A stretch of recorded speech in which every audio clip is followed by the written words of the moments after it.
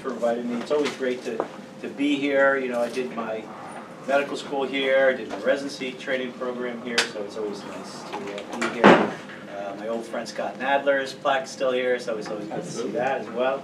So we're gonna go through uh, some adipose, you know, uh, we're gonna turn something that's looked at so negatively, it's so common in our society with, you know, uh, obesity, and see what we can do to make it positive, okay? Um, These are my disclosures, you guys probably know, I have a couple of textbooks. um, uh, I'm a consultant to this Biorestorative Therapies, which is a really interesting company. Uh, They've made a new type of bone marrow stem cell for uh, discogenic back pain. Um, I'm on the advisory board for another company called TendoNova, which is a device that uh, can debride tendon tissue. Uh, And also founder of a new company uh, called Data Biologics, which is a data uh, collection uh, organization. Um, I have a textbook on regenerative medicine. If you're, if you get into it, it's, uh, it goes from the basics, just what, what are the words, the, the proper words to use, the nomenclature, things like that, techniques, and an entire chapter on rehabilitation following these procedures, which is a neglected area within the whole area of uh, this regenerative uh, medicine. Um, always like to recall and remember my dear friend and co-editor Victor Ibrahim, who tragically passed away a year ago at a very young age. So I am the president of the Interventional Orthopedic Foundation. If you're at all interested in this or orthopedic type procedures, um, I encourage you to join. It's free for residents. Um, our annual meeting will be in Colorado on February 12th to 14. Um, we offer free scholarships for residents um, attend the meeting, so you get to go to the meeting for free and they pay a stipend for part of your flight and hotel. So kind of hard to beat. Okay, let's get to the crux of the matter. Is uh, So you all know, because you see this every day uh, in your practices and in your rotations, but if you don't, musculoskeletal conditions are a big problem. It's the number two reason why people go see a doctor. Uh, Major healthcare costs, uh, eighteen percent of our all healthcare visits, lots of back pain, bone and joint, childhood injuries. Uh, For arthritis and joint pain, estimation of five hundred and eighty-one million, uh, billion rather, with this rapidly increasing over time. So the, um, this report from the United States Bone and Joint uh, Initiative, this came out in 2012. There is a recent one that came out in 2016. But in 2012, there were these statements within that that uh, really caught my eye. That's talked about the trajectory we're choosing to accept prevalence and incidence of disorders with spiraling costs and less success in alleviating pain and suffering. And the time to act, this is in 2012, was now, and now we're seven years down the road, and we're still not really acting upon uh, what is going on. So what is going on? So in everyday orthopedic evaluations, either in primary care, many physiatry practices, and certainly in orthopedic practices, the evaluations are really fast. So our visits are five minutes or so, and you're gonna try to get a really good history in five minutes, do a physical examination in five minutes, do a differential diagnosis in five minutes, try to figure out what to do. You probably don't do any of that stuff. You get a really brief history, hardly any physical examination, order a lot of imaging studies, and then have the imaging studies guide what happens, knowing that imaging studies are fraught with false positives all the time. We prescribed a lot of nonsteroidal anti-inflammatories. Why? Well, when I was a resident in the 80s, because the drug reps took us out all the time and gave us really good meals and took us to bars and, and presented some sort of science that said, oh yeah, inflammation is driven by, you know, COX, this COX pathway and we need to block the COX pathway. Uh, meanwhile, over time, NSAIDs, and, and then we then we developed the COX-2 selectives. They were going to really be great because we are going to eliminate all the GI problems really be selective and solve all that. And then people died of heart attacks and strokes. And now there isn't a safe NSAID, right? But you know, it was Vioxx that was the big bad one. And then everyone subsequently since, and even the over-the-counter, they're black box warning on all NSAIDs. Uh, we do perfunctory physical therapy, right? Say, all right, refer to PT. I think physical medicine rehabilitation specialists at least understand and are more precise in our, our, our, um, our prescriptions, but not always. Uh, what goes on in physical therapy is a big black box. It's often modality-based, not evidence-based. When that fails, when people come back and they have pain, they get corticosteroid injections, often illogically, because most patients don't have an inflammatory process. Corticosteroids are known to be toxic to articular cartilage, known to be toxic to tenocytes, known to be no better than uh, a bunch of other things, and known to be harmful. And then when all that fails, the patient has failed quote-unquote non-operative treatment, and so they have surgery. And so surgery is going to save the day, but often does not. So if we look at, and this area of regenerative treatments or orthobiologics is really scrutinized by the academicians and orthopedic surgeon community, community as not being evidence-based. So orthopedic surgery must be evidence-based, but when you look at the literature in orthopedic surgery, only 20% of all the orthopedic surgical procedures that are done commonly are supported by at least one low-risk randomized controlled study. And we know there are a lot of really interesting, as a sports person, I'm interested in these sports injuries, so meniscal tears, chondral lesions that occur, and rotator cuff tears. And these occur in everyday population and in high-level athletes. But uh, certainly, partial meniscectomy for degenerative meniscal tears really should be an abandoned procedure because the literature, especially over the last four to five years, has totally found a lack of efficacy, found that this procedure is no better than physical therapy, no better than a sham surgery. And basically, when you look at orthopedic literature and, and the thought leaders within the orthopedic uh, community, there's great concerns over whether this procedure should be continued or not. And yet, it is the number one outpatient procedure in America. 700,000 partial meniscectomies on an annual basis. Um, with, you know, statements that would suggest that there is no benefit, and in fact is associated with harms. We know that when you resect a, men- a meniscus, you change the loads within a knee joint, and you accelerate underlying degenerative arthritis. Um, and the fact is that uh, somebody that's had a knee arth- arthroscopic surgery, partial meniscectomy, has a three times risk of requiring total knee arthroplasty. And this just came out, you know, just a couple of years ago in the Clinical Journal of Sports Medicine, that practitioners should discontinue this pattern of clinical care unless we have something um, more robust to show that it is improved, and that there's a pressing need to see whether there's any evidence of efficacy or a place for this procedure. Now, okay, everyday schmoes, but our NFL athletes, right, our high-level athletes, we really ought to be using techniques that get them back on the field, back on the field quickly, continuing their career. What happens in the NFL athlete? Now you're talking about 20 to 25 year old elite athletes. I mean, these folks can do unbelievable things if you ever watch an NFL football game. So this was just one study that looked at 72 patients who underwent partial meniscectomy. Only 61% were able to return to play the previous level of competition. It took them eight and a half months. A couple of years later, only 40% of those guys were still in the NFL. If you talk about your speed positions, or really elite type of positions, running backs, receivers, linebackers, they were four times less likely to return to play than your non-speed, like your lineman and your tight end, who could probably tolerate, you know, moving around on a pretty creaky kind of a knee. And as far as looking at chondral injuries, so chondroplasty or microfracture procedures, again, there's only a 67% capability of returning to the regular season game, and only 24% of those folks were still active in the NFL a couple of years later. People that got microfracture were four and a half times less likely to return to the NFL. They played less games, less seasons, and played less games per season. So it doesn't seem like for the able body, uh, I mean, for the general population, nor for the elite athlete, that these procedures are very robust. Um, Paul Chicharella and a few other residents, we got together and we put together this review topic. Um, if you're interested in the meniscus, this is a review from the anatomy, biomechanics, microanatomy, current treatments, and future future treatments. But obviously, when you have this disparity of what we have to offer and the outcomes, we have what's referred to in the um, osteoarthritis world as a treatment gap. The gap where you've exhausted non-operative treatment and then the, the time for needing surgical intervention. And in osteoarthritis, people can sit in this osteoarthritis treatment gap anywhere from 10 to 20 years. Um, so why consider uh, these cellular or what's called stem cell? I think it's probably best to refer to them as cellular procedures because the word stem cell is used very loosely and has strict criteria. Well, there's a lot of reasons, and these are just a bunch of different things listed here on top of the things I've already talked about.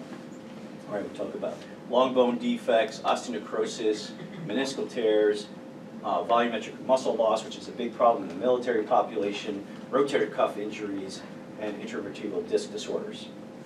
Um, in the literature then, if you're going to go into these cellular procedures, there's been a debate uh, whether what is the preferred cell type, bone marrow versus adipose. For years, people have talked about how bone marrow is the preferred source, and that adipose really, really had no place in orthopedics. It was good for plastic surgery, tissue filling, uh, for uh, wound care, but really didn't have a place in orthopedic literature. And it was because of that that we didn't do uh, uh, any procedures using adipose until 2015.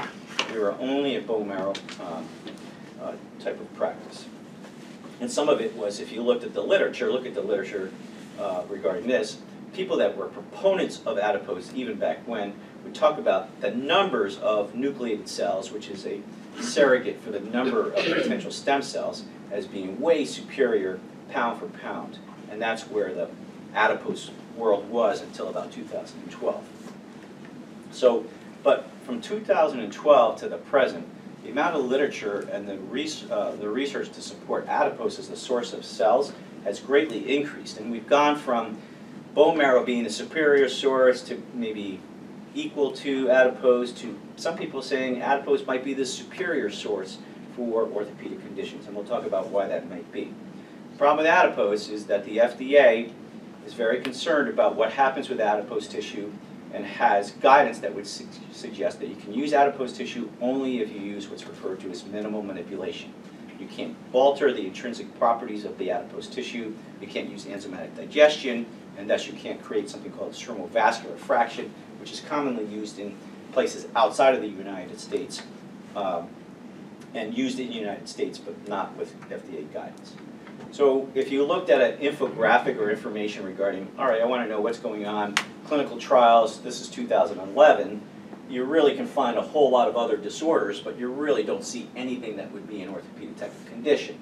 And once again, we would see that literature, we'd see the FDA guidance regarding adipose, and we would not be interested in adipose. And then this is another one looking at the published data as of uh, May 5th of 2012. And boy, what's the evidence for me to suggest adipose tissue to a patient when I have this type of uh, infographic?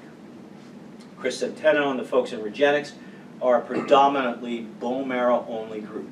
They've produced a variety of articles of mixed evidence, quite frankly, not the greatest literature. They collect a lot of data, so they have a registry, they collect a lot of data, and they're very adamant that bone marrow is the source for orthopedic conditions. And these were the infographics that were produced regarding the number of bone marrow stem cell therapies versus fat stem cell therapies, and the published research or FDA trials related to uh, various orthopedic conditions.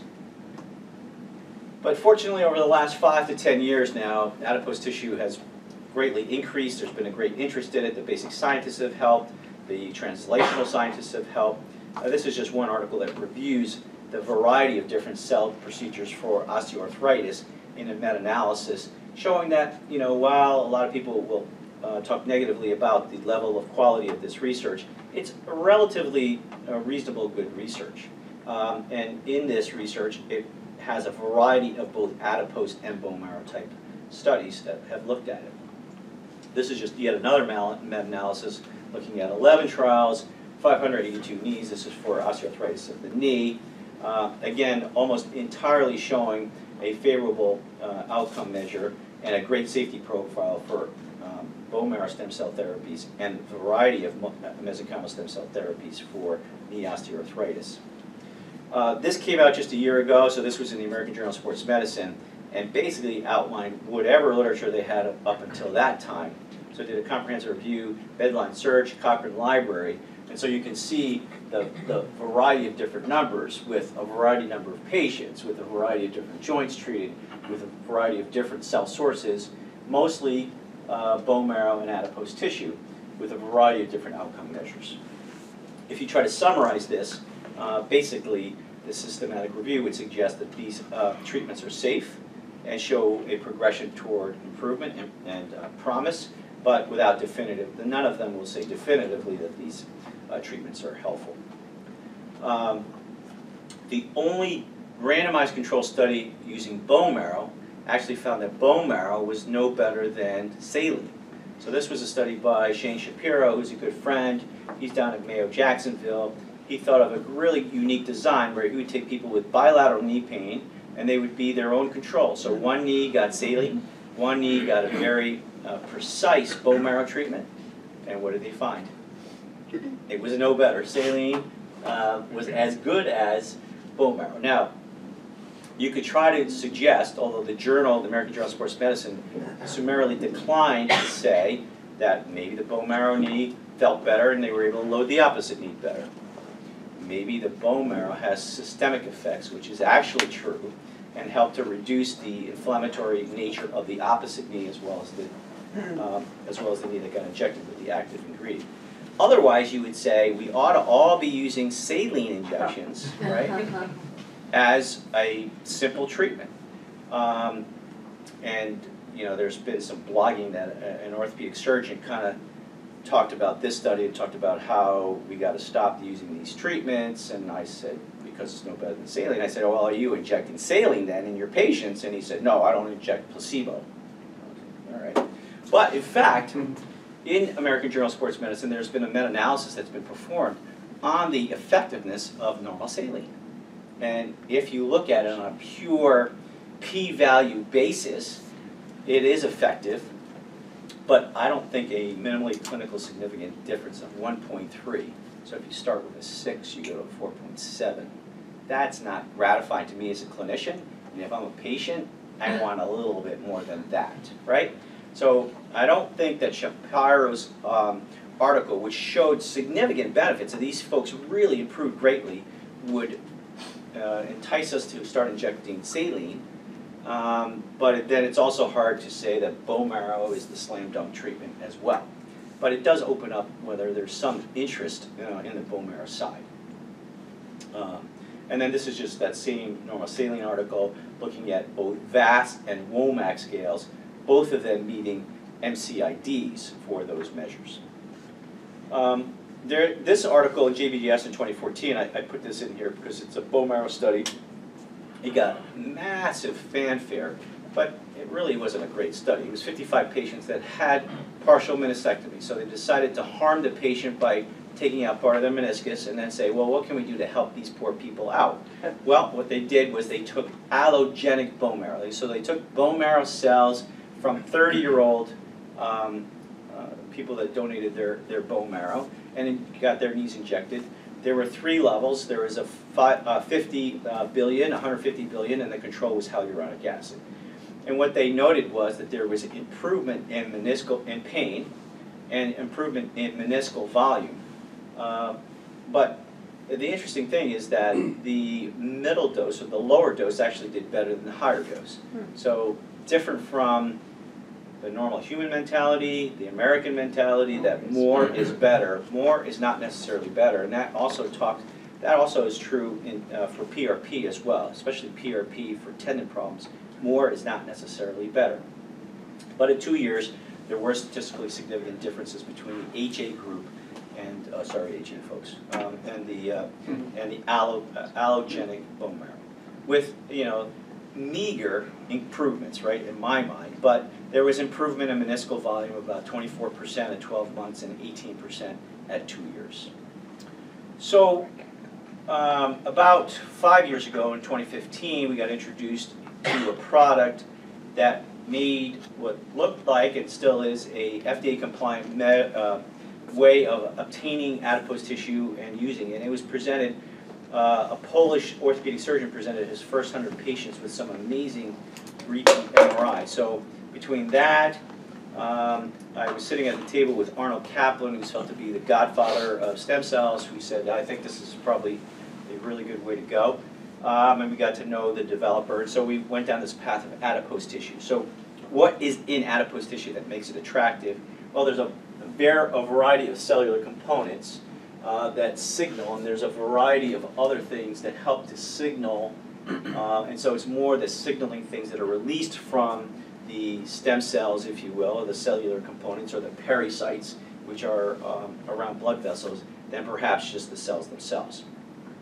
So in looking at this, again, trying to figure out, should we stay on the path of bone marrow or should we go toward adipose? There's been some interesting studies to compare. So this was a group of patients that were gonna get their hip replaced.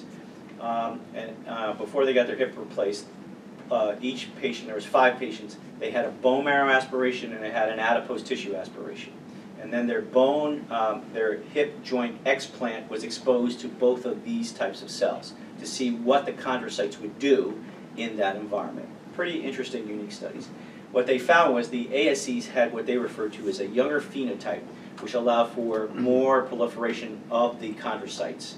Uh, and it demonstrated an enhancement in the proliferative capacity that's similar to the, to the same donor. So that at the end of it, the conclusion was that the adipose-derived stem cells may be the preferred cell source for musculoskeletal conditions. There's yet another study, this just came out this past year, that looked at, again, exposing uh, same donor, so people that had uh, aspiration of bone marrow, people that had aspiration of adipose uh, stem cells, and then exposing various cellular uh, tissues to those, um, to those cells. Um, and they also reviewed the literature that, that talks about how there's a lot of studies now in clinical trials for both adipose and for bone marrow, but they're getting pretty close. But what they found was, and, and they looked at this tissue in, in a lot of microassays and a lot of really detailed chemistry beyond what I want to get into today. But what they found was that the adipose-derived stem cells were more controllable, more able to survive a hypoxic articular cavity. So when you take cells, the thing you have to remember is that when you inject them into, let's say, an arthritic knee or an inflamed knee, that's a very hostile environment for those cells. So they have to be able to survive. There's this concept of preconditioning, maybe having those cells be conditioned into a harsh environment before you inject it, but that is not FDA compliant unless you start going down a route of IND. We recently put this out, so myself and a couple of residents gathered all the studies and made this infographic. So if you go to our website, you can get this infographic that looks at microfragmented adipose tissue, stromal vascular cells, or adipose-derived stem cells by year, and then you can toggle over this and it'll take you directly to the article itself, so if you want to see what the article itself says. But you can see there's a lot of literature now that has been compiled over the last decade or so. Um, so in terms of clinical studies then, uh, this is a study that started a, a German-French kind of co-op uh, kind of project, 18 patients with severe osteoarthritis, a dose escalation from uh, 2 billion all the way to 50 billion cells. Uh, patients treated with the low dose actually had significant improvements as well as the higher dose, and that the conclusions were this intraarticular injection of ASCs is safe and an alternative for patients suffering from severe osteoarthritis. This Hoechin study is a very nice study because it looks at pain, function, histology, imaging studies, and uh, repeat arthroscopy in a small group, uh, in, a, in a subgroup of this population. So this looked at 18 patients injected into their knee with adipose-derived stem cells, no adverse response. The size of the articular cartilage well, uh, um, decreased while the volume of cartilage increased in the medial femoral and tibial condyles in the higher dose group in this study arthroscopy showed that there was a decrease in defects in the medial femoral head and tibial condyle, and that when they biopsied these, um, these areas, they were thick hyaline-like cartilage. When you do microfracture, you create something that looks like cartilage, but at the end of the day, it's not hyaline cartilage, it's fibrocartilage. And they were able to do this in different dose groups and showing over time how you can get resolution of these bone marrow lesions over time, how you get changes in the uh, content of the medial and lateral femoral condyle, and you can get improvement in what these large defects look over time in low dose, but in particularly in the high dose group. So large lesions that now look pretty well healed over. So the results were that you know, improved function, improved pain, no adverse response, you reduced cartilage defects, and you regenerated hyaline-like cartilage. Um, Koh has done a few different studies. So his first study combined arthroscopic lavage in 30 elderly patient and used stromovascular fraction. That's the fraction that you get after you take raw fat and you enzymatically digest it after liposuction. And they had a variety of cells, but about 4 billion cells were injected. They looked at KOOS, VAS, Lysholm, and 16 of those patients underwent a second look arthroscopy. So about half of them had a second look arthroscopy. Two-year follow-up uh, basically showed same levels of improvement as they did at, at 12 months. So this was sustained over a two-year time frame. Elderly patients greater than 65, only two had, oh, I'm sorry, only five had a demonstrated worsening. On second look at arthroscopy, 88% had improved or maintained articular cartilage two years later. None of the patients went on over the two-year timeframe to, uh, to require total knee arthroplasty. And again, these are the, the KU scores showing, these KU scores and showing improvements at three months, 12 months, and two years. So all sustained, in fact, gradually improving even over time. And these large defects now much improved. Not perfect, but much improved. Um, This was a multi-center Eastern European study where they looked at over 1,100 patients, uh, mostly hip and knees. This also used stromal vascular fraction. They looked at 1,800 joints, and 1,100 were followed for anywhere from 12 to 54 months, on average about a year and a half for safety and efficacy. No serious side effects, no systemic infection, no cancers, gradual improvement, usually uh, started around two to three months and continued to 12 months. If you looked at something you want to talk to patients, so you say you're a patient, 75% improvement will occur in about 63% of patients, at least 50% improved in over 90%. Patients that were obese and had worse arthritis had improvement but took much longer time. So yet another study, 20 patients osteoarthritis. This is autologous concentrated adipose tissue. This was a centrifugation and lipoaspirate, so this was not stromovascular fraction. They looked at VAS and WOMAC scales, and they also looked at some serology testing. Um, there was a significant improvement in pain and function in all these different patients, uh, improvement in the chondrogenic stimulation, um, and they also noted that there was a presence of a newly formed tissue on uh, staining and on um, electron microscopy beginning at the bone side of the chondral lesion. Finally, just uh, a year ago as well, this is a rotator cuff uh, tear study, again, a dose escalation study, 20 patients with a, a rotator cuff tear uh, that were injected intratendinously on ultrasound guidance.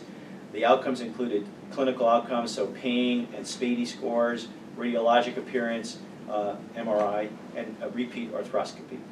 So as far as safety, there were no adverse responses. The SPADI scores increased by 80 to uh, 77 to 80 percent, depending on whether you're in the mid or higher dose group.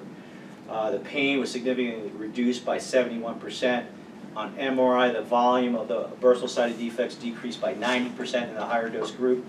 Um, and on arthroscopic examination, there were decreases in the bursal and articular-sided defects by anywhere from 80 through 90 percent. Um, and again, these are the various uh, scales, scores, uh, the SPADI, the constant score, and their VAS scores that improved over time in all groups. And then these are the repeat arthroscopy showing improvement, especially on this bursal-sided tear um, in the high-dose group.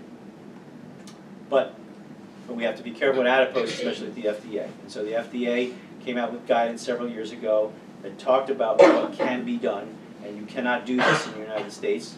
Um, otherwise, in the United States, it's considered a drug. So, human tissue products um, are controlled under what was referred to as the uh, 361, meaning that if they meet all four of these criteria, minimum manipulation, used homologously, not combined with anything else, not used for its systemic effect, is considered a 361 and can be used. Otherwise, it's a 351, and that makes it a drug.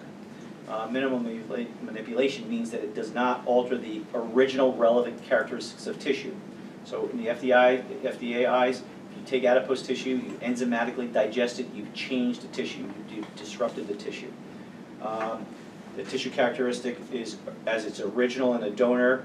Um, it's utilized for reconstructive repair or replacement. Uh, things such as cutting, grinding, washing are all, all allowed under minimal manipulation. Um, So what is all that, you know, you have this teeter-totter of what uh, you can do versus, you know, what is allowed. Uh, So if you have, there's pros and cons of both, right? Um, You, you do get more cells and you do get some uh, other things when you do SVF, uh, but you, it comes at a higher cost and uh, more time. So in 2015, this company called Lipogems, and I am a, a consultant for that company, I do some teaching for that company, came out with this closed loop, closed loop device that's autologous, no centrifugation.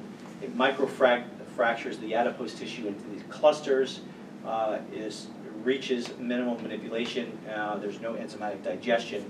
This is how the device looks like on a schema. Uh, there's a wash bag, the raw fat gets put into this device, it gets broken down. There's, there's uh, stainless steel balls that help to gently break up the adipose tissue. The waste products go into this bag. So blood, oil, uh, adventitial tissue, that all gets washed out. And then you're left with uh, a tissue that's injectable even uh, with a 27 gauge when they use it in plastic surgery. For our, our, our uses, we're usually using 18 gauge to get into tissues. So there really wasn't any literature though in 2015 when we first started using it. This was the first little bit of a case report looking at assisting a chondral lesion in the retropatellar area after arthroscopic surgery that showed benefit. Uh, then finally, a couple years ago, there was more and more, 17 patients in this uh, knee arthritis patient, 32, 32 knees, with a decrease in, in VAS by about 50%, with an increasing look, uh, interesting look at the glycosaminoglycan content in the hyaline cartilage without adverse response. So they, they traced what the hyaline cartilage looked like before and after to show improvement in glycosaminoglycans after treatment. A retrospective study of 40 patients looked at the same type of tissue, intra-articular injection during arthroscopic procedure. Um, They looked at a variety of functional scales as well as pain scales. They felt that if you had at least 10 points in these scales, that was a cutoff for success. So that was their uh, success cutoff. Uh, As far as complications, there were none. Uh, There's total mean improvement in 20 patients in terms of their IKDC as well as their total KOOS. High percentage of patients had improvement in their VAS and Lysholm. The median improvement was 24 points, so their cutoff was 10, they got to 24, so they doubled the amount of impor- uh, improvement. Their tension E scores improved by a factor, three times that factor of 31 points. Um, Yet another study looking at 38 patients, arthroscopic procedure, injected. So some of the orthopedic literature is confounded by having orthope- orthopedic procedures because orthopedic surgeons like doing arthroscopic surgery. But uh, enhancing the uh, benefits or maybe minimizing the harmful, harmful effects of arthroscopy are shown in these studies. So 92% of patients clinically improved and 100% of them were satisfied without adverse response. This is a study that looked at arthroscopic procedures, and some group just got a little clean out, some group actually got partial meniscectomy.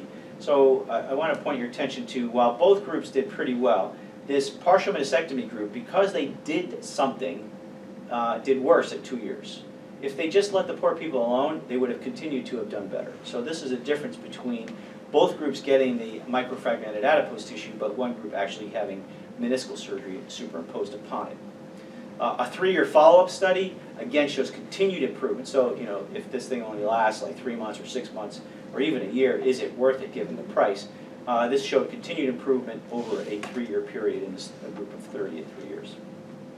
This just came out just last month. This was a Danish study. So a lot of the Lipogems literature is uh, Italian European because that's where the company came from. So this was an independent Danish study that showed KOOS at three, six, and 12 months. Um, and basically, the only complication was a cosmetic change to the abdominal subcutaneous tissue in one patient, so there probably was some dimpling, and that is a potential. Um, but their conclusions were that intra-articular injections of this microfragmented tissue is a, a reasonable treatment option that is safe. Uh, they just pretty much looked at safety. We published this uh, a couple of years ago in the Journal of Orthopedic Spine Sports. 18 patients with severe shoulder OA. Um, their pain scales went from a seven and a half to a 3.6. Their ASES, uh, shoulder and elbow scores, uh, basically doubled without any post-procedural complications. This group was va- bad shoulder OA in about uh, 65 to 70 year olds, so an older group with bad shoulder OA. So in PM&R, uh, we were asked to do a point counterpoint. Uh, Joanne Borg-Stein and her fellow uh, took the side of bone marrow stem cells. Myself and Sam Dona, who was a uh, Atlantic Health uh, Sports Fellow, we took the side of uh, adipose-derived stromal cells in this treatment of a theoretical 55-year-old female with knee OA who had exhausted non-operative treatment.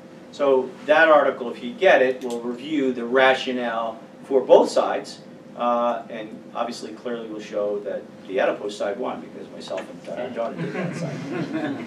Uh, my former fellow Sean Bemanian and I, we did a review of microfragmented adipose tissue in knee OA, and again, it's a review article for your reference that you can easily get. I think this is uh, free access, and basically showed uh, clear safety and potential effectiveness in knee OA and uh, other orthopedic conditions. Um, My friend Ken Mautner took a series of patients that he had that compared bone marrow patients that he did and compared adipose and wanted to see, okay, how did those two groups do over time? Um, Which is the superior source? Bone marrow, which he had done, and then this new adipose tissue. So it was a prospective study uh, over time. Uh, All patients had six months of follow-up. He did various functional scales. Um, 110 patients, uh, 76 with follow-up data, 35 in the microfragmented, 41 in the uh, bone marrow aspirate. Uh, A little bit more follow-up in the bone marrow aspirate group because he had been doing that a little bit longer. But what did he find? Basically, no difference. They, they, both groups improved significantly, but no significant differences between your microfragmented adipose tissue versus your bone marrow tissue. Uh, No changes i- in their various KOOS scales as well, no differences, although both groups did very, very well with very significant p-values in terms of pre and post-treatment. Uh, In terms of uh, responders, uh, at least twenty-five percent improvement is your responder. Those that had lower grades of arthritis, KL1s and KL2s, did extraordinarily well. Uh, People that had severe arthritis did reasonably well. I mean, fifty-five percent, fifty percent improvement is a reasonable level of improvement for that severity of arthritis and for as minimally invasive as this procedure is. So the conclusions were that there are significant uh, improvements in pain and function whether you use microfragmented adipose tissue or bone marrow uh, for over one year without significant differences between these modalities and without significant adverse responses. This is what the holy grail of what you hope, so you take this close to bone on bone. Everybody that I see, their orthopedic surgeon tells them they're bone on bone, even if they have this joint space. But this is a nice change in bone, uh, joint, joint space. Uh, we've collected data going back to 2016. Actually, this is an IRB approved uh, data registry. Uh, we've looked at knee, hip, shoulder, elbow for a variety of the various uh, treatments. We looked at our microfragmented folks. Uh, you know, some groups did extraordinarily well, 83. Some groups, the hip, still did very weak, and so we're trying to find ways to improve on that. As far as uh, uh, side effects or adverse respect, we had one case of a localized cellulitis that treated treated with oral antibiotics, a few uh, bad uh, bruises, and one with a hematoma. Otherwise, this was a very safe. And when you do this procedure, you have to have outcomes both on the site of where you're harvesting as well as the site that you're treating. So procedure safe, clearly based on this database, and significant benefits continue or occur at three months and basically continue onward. Um, We did then uh, an IRB-approved study looking at degenerative meniscal tear.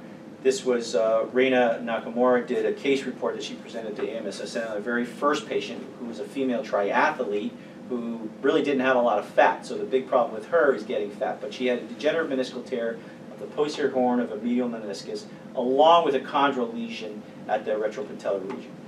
Uh, Arthroscopic partial meniscectomy was recommended. She declined to proceed with that. She was not interested in that. Uh, so we did the procedure. Three months later, she did extraordinarily well in terms of her KOOS, in terms of her Pain Scale, but also improved in terms of her ability to return as a triathlete racing and participating in a variety of events. We've completed this study uh, of meniscal tears in 35-year-olds, failed conservative treatment. We're told that they needed to have arthroscopic partial meniscectomy. This is the exclusion criteria. These were 60-year-olds, BMIs, you know, up there, equal male, female. Uh, we looked at them as far as 24 months. Their initial KOOS were 56, which is pretty limited, and their pain scale was about five and a half. And so this is what we saw over time, that we were able to reduce their VAS by a factor of 3.2, not the meager 1.4 MCID, right? With high p-values throughout all the pain as well as the KOOS subscales. Uh, much better if you compare these to what is seen with partial meniscectomy. And this is just a graphic representation of what occurs. Generally, the fastest changes occur between one and three months, and then things stabilize and then continue over time. Um, we also, Jay Paschal and I helped uh, an orthopedic surgeon out of Chicago, uh, Ms. Sheinkop, review severe osteoarthritic patients age 72. So they had grade 3, 4, median age of 72, 17 subjects that were injected with significant improvement in their pain scores and the KSSS scores that sort of decayed after the six month mark, but were pretty remarkable even at 12 months, even though not as good at six months. Um, and these were the functional improvement scales that occurred over time, And so in this severe osteoarthritic group using this treatment, it was profoundly helpful. Uh, So we now have additional studies that we're working on. So we now have um, a DoD study, Department of Defense, about $500,000, randomized control study looking at the uh, meniscal tears in the military. Uh, We have a chronic shoulder pain study that we completed, a pilot study. We did our first 10 subjects that will be done in one year. Now we have an RTC for that. Um, And then we have uh, a few other studies. This was a study, again, with this guy Striano in upstate New York, looking at severe knee OA, uh, again, older age population, uh, BMIs of 31, and followed them over time. And they had this rapid improvement at one month that was continued over time with this tremendous p-value in both their pain and KOO scores. There was a subset of group I saw in this patient population that intrigued me. There was about six patients who rated their knee pain bilaterally as 10 over 10. I've never had, I, I, I, I don't think you can walk if you have that. I don't think you can breathe if you have that. So um, that seemed like a different group. So I said, well, why don't we just look at the normal people, taking this, these guys out? Uh, so if we exclude those people, their values did even, there was more significant improvement in terms of what happens. Now, whether that's legit or not is another story we can talk about, but um, And then this is the rotator cuff tear study that we did together, looking at these improvements. We are now working with Kessler Foundation, so I said, we've done ten subjects now with rotator cuff tears in wheelchair population which are dependent. They've done extraordinarily well. This is one of the first posters that we presented. Uh, We are following them with serial ultrasound, and then we have several that have had serial MRIs. So we have a serial MRI uh, on a- a few of those that we'll be publishing to see what changes. We now have a $550,000 grant from the New Jersey Commission to now do a randomized control study on this uh, patient population with Trevor Dyson, who's a researcher from Kessler. This is the uh, pre and post MRI this pilot study on serial MRI, and we've done, uh, Nathan Hogaboom, who's my PhD person, has done a refined way of looking at the volume of the, uh, of the tendon, and there's significant improvement in tendon volume. Uh, We are also now going to be starting a partial rotator cuff tear study with this company called Ingeneron that has a new method of using adipose tissues. There'll be 20 centers throughout the United States, we'll be one of those study sites. There'll be 246, uh, so we'll start recruiting for that. And then we have this military study that we'll be recruiting in January as well. A a randomized control study, injection of microfragmented adipose tissue using a technique called trephination. Uh, One group just gets trephination, the other group gets trephination plus microfragmented adipose tissue. So, um, what can we say? We know that musculoskeletal conditions are a large burden on our healthcare system, that uh, our current state of treatment uh, demonstrates questionable benefits, whether it's on the non-operative side or the operative side. Uh, Various biologic treatments, including PRP and cellular treatments, have shown increasing evidence of efficacy for a variety of these conditions. Historically, bone marrow was the preferred tissue for orthopedic conditions, but clearly now adipose is at least as good and maybe, uh, maybe superior. Uh, So there's increasing evidence for the use of adipose tissue, and I think adipose, in certain situations where you need to fill tissue defects, right? So you have a meniscal tear, there's a tissue defect. You have a rotator cuff tissue defect, you put adipose tissue, the adipose acts as a scaffold filler of that defect, as well as having these bioactive uh, release of substances that en- enhance tissue healing. Uh, You have to be compliant with the FDA if you're going to do any of these things. And obviously, we need to all collect data. So anybody that's involved in this needs to be involved in a data uh, registry, and that's why I started this company called um, Data Biologics. So I encourage you to think about this at the very, at the very least. Think about what you do every day and make sure that you're not doing things that are not so good for patients. So don't prescribe NSAIDs so much. Don't do too many corticosteroid injections. Maybe one, hold your nose and do it, uh, and, and that's it. Um, and then think about things that are more enhancing of people's inherent uh, capabilities of healing versus getting in the way of that or causing a problem or a complication. Um, This was something I saw in USA Today. There were two brothers in uh, Virginia, uh, Milton and Norman Endy, who were using adipose stem cell therapies in the 1960s. So we think we're so cutting edge, innovative. As far as I know, 1960s was 60 years ago. a little bit ago. That's it.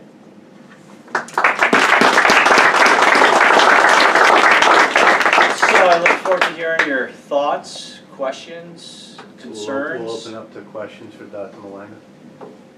Yeah, So, um, I think this was awesome presentation, and it really, uh, like the gems definitely has potential. Now, the, um, any, uh, you mentioned something about spine earlier. Uh, have there, has there been any use of the, um, you know, uh, either lipogems or other adipose in the, Yeah. um, arena of discogenic uh, pain? And the same principles of avoiding corticosteroids in the epidural space Yeah. um, and, and joints Yeah. uh, would also apply, I would. for sure. I mean, listen, um, I have an entire, it's a hundred and sixty slide talk on new paradigms in the treatment of orthopedic condition that goes over all the flaws of what we do, all the flaws of NSAIDs and the negative effects, all, and, you know, corticosteroid, steroids were developed by Kendall and Hench back in nineteen thirty-nine. They won the Nobel Prize of Medicine at Mayo Clinic, so I spent four years at Mayo Clinic, so I'm always kind of trying to find the Mayo Clinic, kind of, and there's a, there's a building called the, uh, the uh, Kendall Building at Mayo Clinic. But when they first came up with this ability to, to synthesize cortisone, and it took them a long time, and they called it compound F, and that's what we used to call it when we were injected at Mayo Clinic. They went through A, B, C, and they failed, failed, failed. um, they injected people that were bedridden from severe uh, rheumatoid arthritis. And those people got out of their beds and they took showers for the first time. A couple of people began to dance for the first time. But even then, they warned about the indiscriminate use of steroids. They said, you gotta be careful about this stuff. And, you know, 70 years later, I would say, between Medrol dose packs, between NSAIDs, and between corticosteroid injections, there's an indiscriminate use of those products that makes no sense and is harmful to human beings. So we have at least 16,000 deaths from NSAIDs, but probably more in the realm of 60,000 deaths from NSAIDs. And so that's a problem, right? And we know, and several years ago, we had tainted corticosteroids that were injected in the epidural space that basically killed people, right? Uh, so, uh, you, your point is well taken. We need to use all of these things very strategically. Spinal injection procedures are a failed experiment for the most part, right? I grew up when these things first started happening, right? I grew up when the Saal brothers first intro- introduced mm-hmm. transforaminal epidural injections, and they showed how there was a reduction in, in prostaglandins, and it was going to be. That was in 1992. So that's like how many years ago now? 25 years ago, right? We have more surgeries, more people on disability from back pain, more people on opiates, more people dying from opiates than ever. So if that was gonna save things, it should have saved something by now. It hasn't. So if you selectively use it, I think selective use combined with other better things is the way to go. Yeah.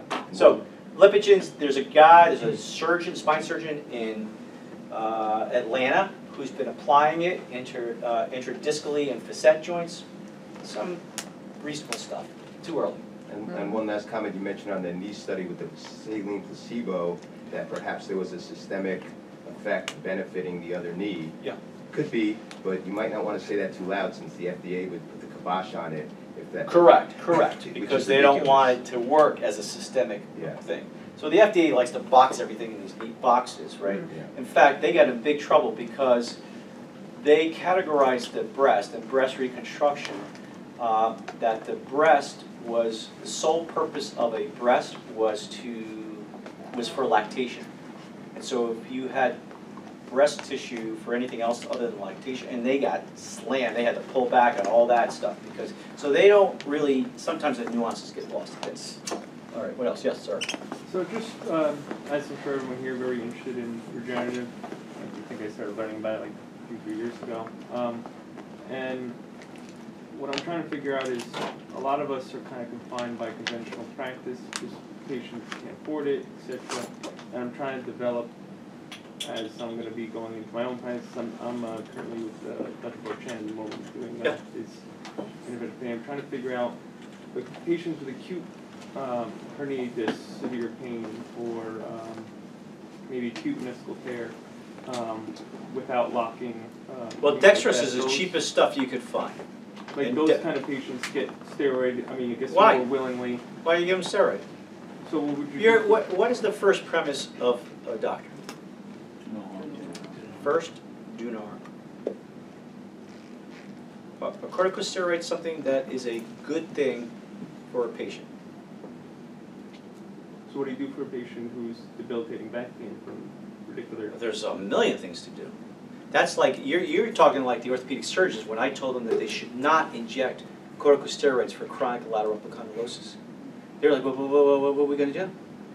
You're paralyzed. All they had was that, that's all they got. You're a physiatrist, you got a million things you can do. Well, I mean, okay, sorry, I'm leaving some out. They're, they're failing conservative management. Okay. In other words, they can't do. You know therapy, John Sarno at all? You ever heard of John Sarno? Mhm. You ever read John Sarno's book? Tension minus things. No, Mind Over Back Yeah. Should be mandatory reading. Mhm. You ever read The House of God? You ever read that book?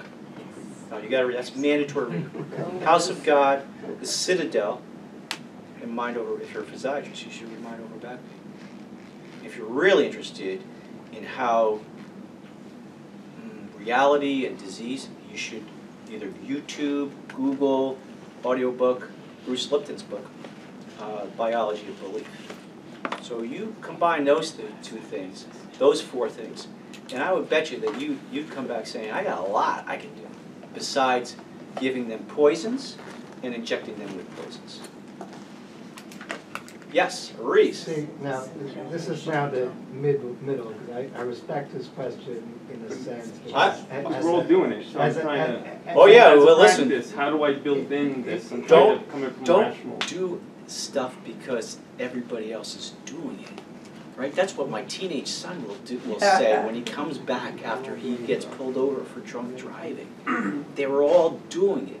Don't do it. It's gonna be hard. It, it'll be hard. You'll be going against the grain. But, so what? Yeah. What, my comment is this, is that now I'm seeing, you know, about twelve years in, very, very high volume in network demographic, you know, in network Medicare, Jersey City. Then I open something in Manhattan Cash. The reality is the reality. If I say to a patient that I'm gonna give you this, and it's gonna help you, the, the, the, the problem becomes if they are in some sense of chronic pain, let's just say greater than three months, let's say they don't have a level of education past the point of they're loading trucks, they're laborers, feeding their kids, they're doing what they can. They're looking, as you know, kind of two weeks, four weeks, they're not looking six months out. So the only comment I have is just on the outcomes, one thing that has worked very well is that we're, we in the practice are actually looking at force generated in a biofeedback machine. All right, That's an objective measure. good. We're not uh, talking pain, and then I'm correlating that with the, with the width of the muscle, for example, the quadriceps. And I'm showing it to that same patient on the screen, and then they say, damn, it works. And my sugars didn't go up. So there's a, you have to, I think you have to, they can't pay for it, they can't afford it. I'll give them, you know, what, what they can, maybe PRP, super, but at least I'm giving them options, and I think that Yeah, okay. ultimately Yeah, that's fine. I mean, this poor young fellow, he, all he wants is good options for his patients. He, he cares, right?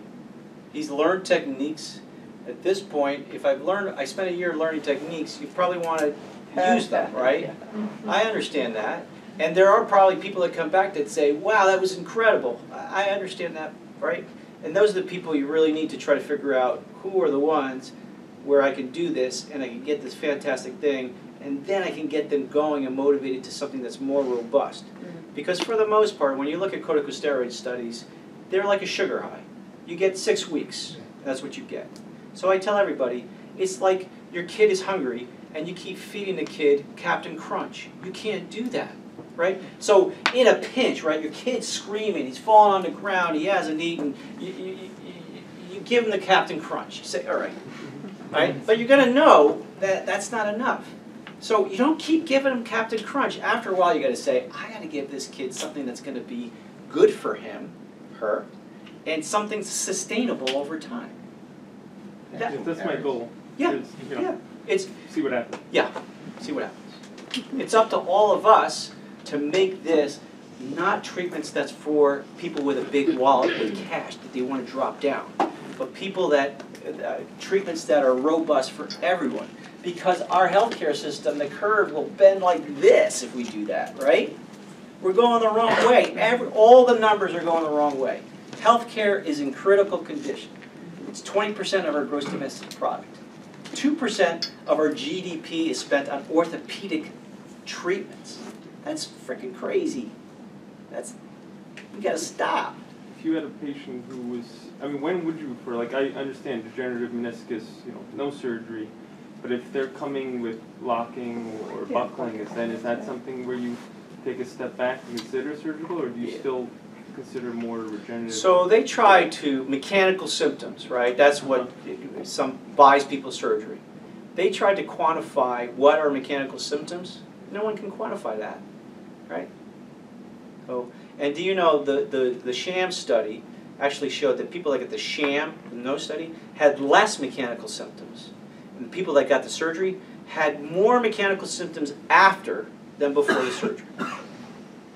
So I'm not saying that you don't want to do something, but you certainly don't want to do something that's been shown to not work and cause more problems. You got to say, okay, we got to close the book on that. But if 30% of your income is based on doing that, if Morristown Memorial's outpatient hospital volume is 25% based on arthroscopic surgeries, if DePuy, uh, Smith, and Arthro, uh, uh, Arthrex makes $10 billion from the equipment stands for arthroscopic surgery. Do you think that surgery is going to go away? The- I mean, the, the market forces aren't moving in that direction. But for pe- if we're interested in human beings and people, that stuff's got to go away. Not going to be easy. Yeah. Now, I know they're doing, they're trying to do more meniscal repairs for some patients. Sure are. Resections? Like who can get a meniscal repair?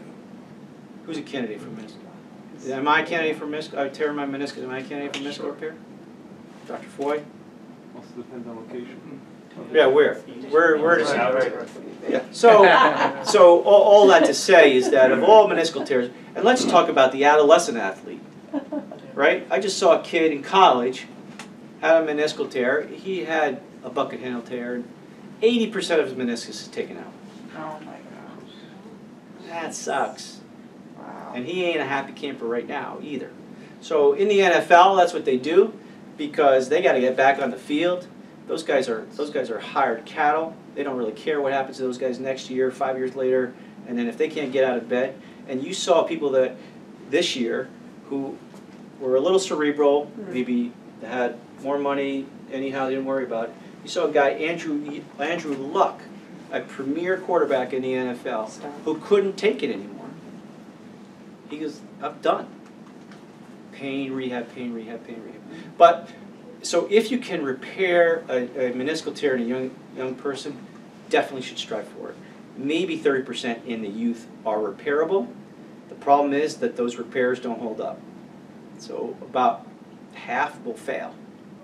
And if you look at the literature to support meniscal treatments in the youth, it's based on like 80 patients.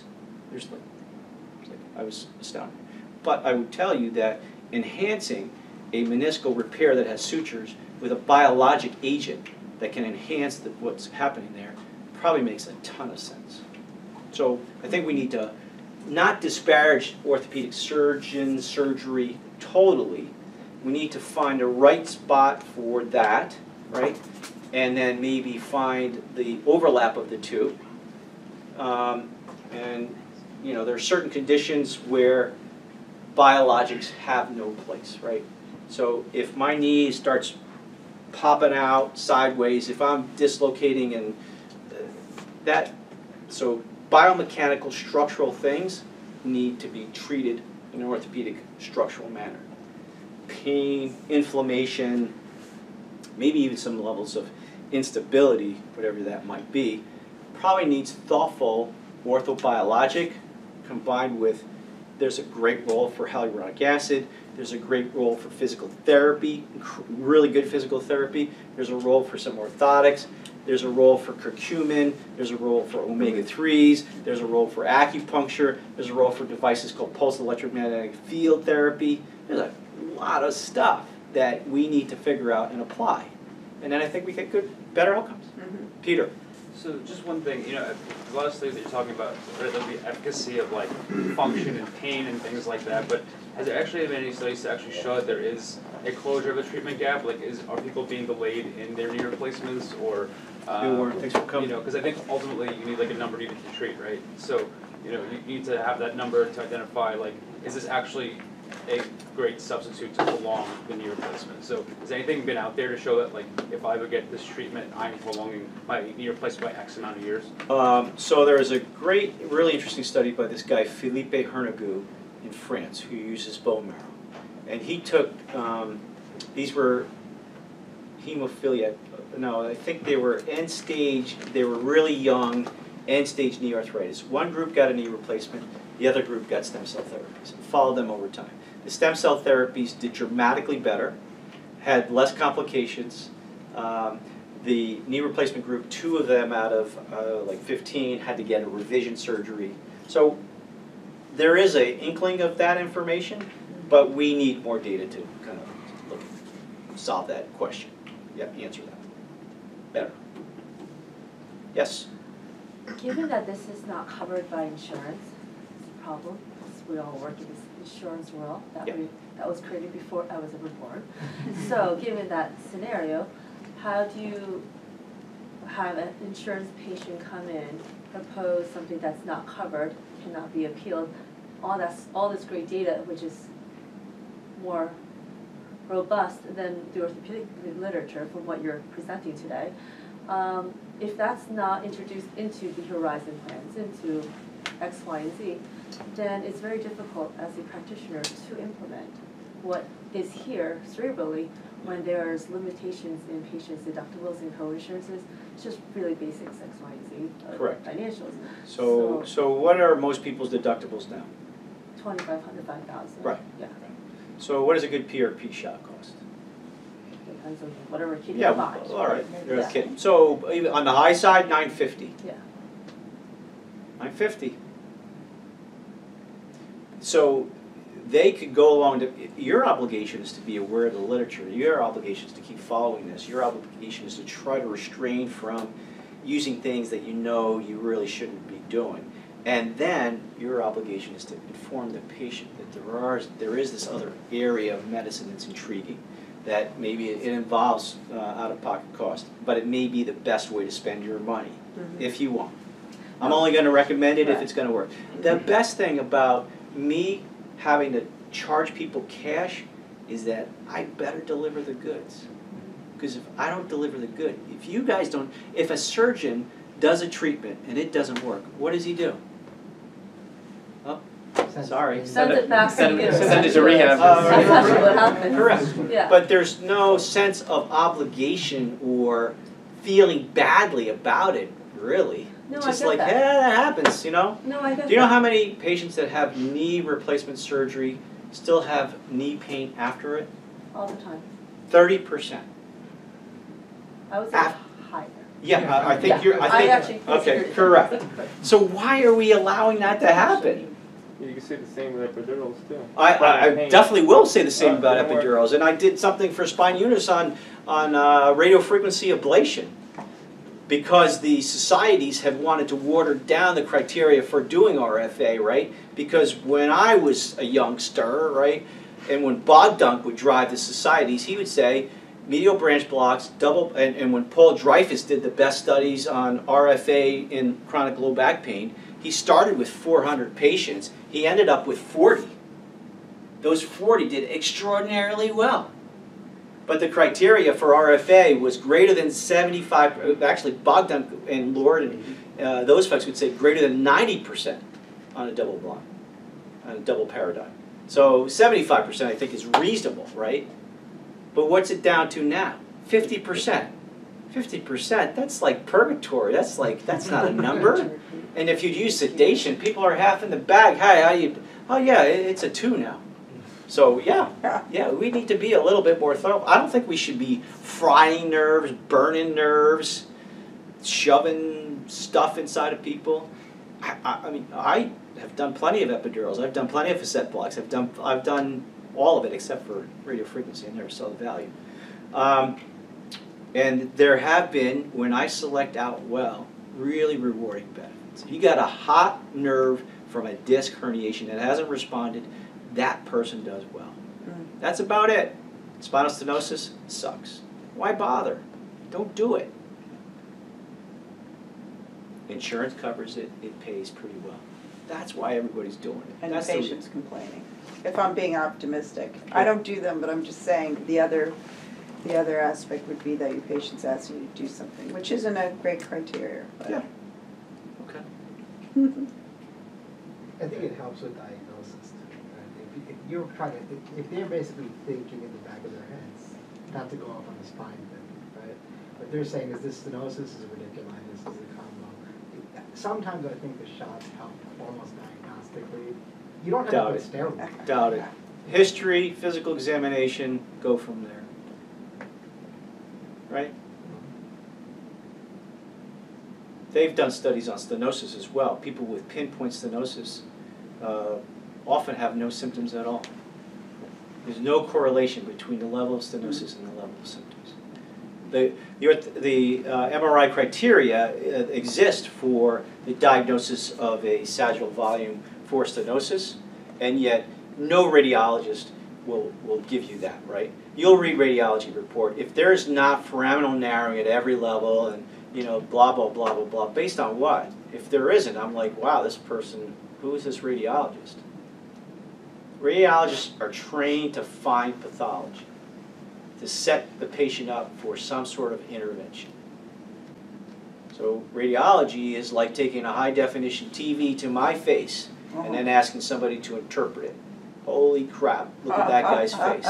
He's got crow's feet, he's got, he's got wrinkles, he's got, he's got, you know, all sorts of stuff.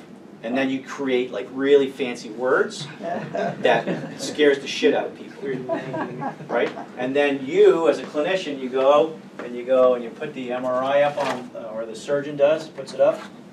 And he's like, I am, that is the worst looking spot I've ever seen in my life. Got a spine of a ninety-year-old. That, you have a spine, you have a spine. Bone on bone. How, how- what kind of hormonal response do you think somebody has? What kind of endocrinologic response? What kind of internal response do you think that person has when you tell them that? Versus take away their hope. you, you have, you have a spine that's gotten older. This spine is no different. If you took Mhm. ten of your friends, right, who have no pain, they're doing everything, they're skiing, probably at least six of them over the age of sixty would have that same kind of spine or worse. Mhm. So that's, that's not really what your problem is. Your problem is that you've gotten deconditioned, your muscles are weak, Right. gotten tight. There's lots of things you can do. You can use natural anti-inflammatories, right? That person walks out of the room completely different. Words are really powerful as well. Mhm. So get those books, right? Get Sarno's book, get House of God. So who's read House of God? So what's rule number one? What is the most important thing that the fat guy teaches them? You reach every- my every- The goal in medicine, what's the goal in medicine? remember. To do as little as, do as. Little as possible. Do as little as possible. And so then the, the young intern goes, my emergency. yeah, but, but, but when, when the attendings come in, they order all these tests and they do all these things. Why do they do that? And you know what his response is? For the complications. He goes, for the compl, wh- wh- what do you mean for the complications? Because that generates more revenue for the hospital. You gotta read that book. It's- about the new book. It's the fortieth, yeah, it's the fortieth anniversary of that book. So that, The Citadel, is a really interesting book you should read. Uh, mind, mind over back pain, Mhm, Sure. and um, biology of belief. Read those and you'll feel empowered and you use those same concepts to empower your patient. Because what's been lost in our healthcare system is the fact that the human body is an incredible, uh, incredible thing. It has incredible healing capabilities. Our ability to self-heal are enormous if we facilitate it. And we all know that on a day-to-day basis. Like you, you cut your arm, right?